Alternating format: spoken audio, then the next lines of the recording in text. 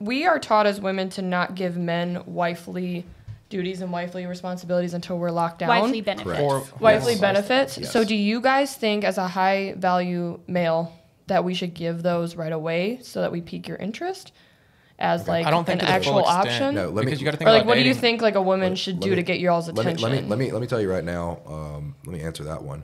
So, traditionally, if men wanted sex, they had to marry the girl, which meant a year or two of courting minimum to get sex because she was a virgin. We don't have that nowadays. So most guys know that the girl's not a virgin.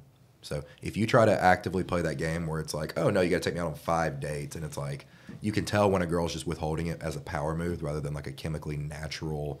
We're gonna actually do it because we want to that will turn off most guys and say Mm-hmm. she's just playing games. But if you naturally are just a girl that says I'm not going to give it up until you put and i I'm talking about on just like you know cooking, taking cleaning. cooking for you, Okay, maybe so- doing your laundry, making so your bed, you like all should the be le- wifely You stuff. You should be leading with that after like the first or second date. You should say okay, say so you give should- them the you should- wifely duties. the wifely, but the wifely duties, but without the the physical. Like Okay, you're yeah. not giving. They get no not- cookie. They get See, no cookie. mm, so I- until until no, let me let me take my advice on this one, because if a if a girl, y'all don't have know, time to waste. most Like, of the girls that have impressed wife- me in the past couple of years have been the ones that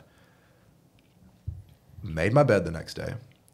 They made me breakfast without even asking. I, I naturally go out to eat three, four, five times a day. So I'm like, okay, cool, we'll go grab breakfast in the morning. The girls that have stuck out in my head are the ones that say, Hey, while you're at work today, let me go straighten up your house. And I've got I've got somebody who comes to my house every two or three weeks to clean up and straighten things up. I can handle that myself. But the girls that have impressed me the most that I wanted to wife up and take seriously were the ones who gave me those wifely they, they demonstrated that they are that instead of saying you have to put in six, seven, eight months, two years, three years worth and of even work. doing that early on was I- attractive to you. I- I agree with what but you're saying. don't sleep with him. The wifely privilege that you guys are talking about, it isn't the cooking, it isn't the cleaning, it's the access to your body. Okay. Okay. So I think it's all of the above, and but it's, I, it's I want to mostly hear the- Gage's. most- Yeah, let me, let's let me, hear- let's well, hear let me, let me finish. Let me finish on that because having a guy wait for those sort of wife access things. Imagine if your guy said, "No, we have to be married before I fight off the intruder."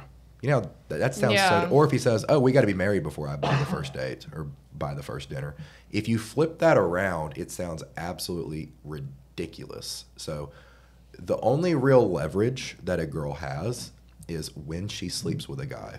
You hold every little bit of power until you sleep with that guy because then at that point you have to retain that guy's interest. See, mm-hmm. you're making him fight for you up until the moment of, you know, you giving up your body to him because there's a high chance you might get pregnant after that, which means you want to keep this guy around to protect and provide for you. So the moment you give up that one key aspect, you lose.